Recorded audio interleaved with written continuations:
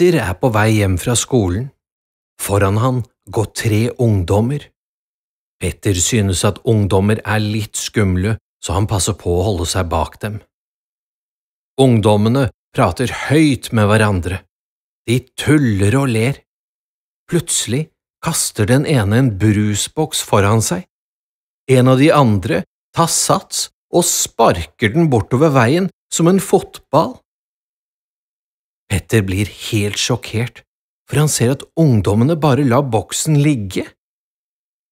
Når han ser seg rundt, legger han merke til at det ligger søppel både her og der, selv om det står flere søppelkasser langs veien. Da får Petter en kjempeidé.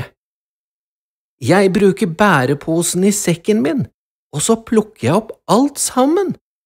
Da blir det trygt for alle dyr, bra for miljøet, og så blir det fint å gå her. Mamma og pappa er på vei for å hente Petter og ser til sin store overraskelse at han plukker søppel. De blir veldig stolte og hjelper til. Etter hvert kommer det andre skoleelever som også vil hjelpe, til og med ungdommer. Etter denne dagen er det blitt rent og pent. De fleste passer på å kaste søppel der søppel skal kastes.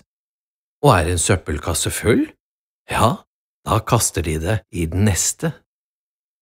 Vil du også hjelpe til, er det bare å ta med en pose. Men pass deg for alt som er spist og skarpt.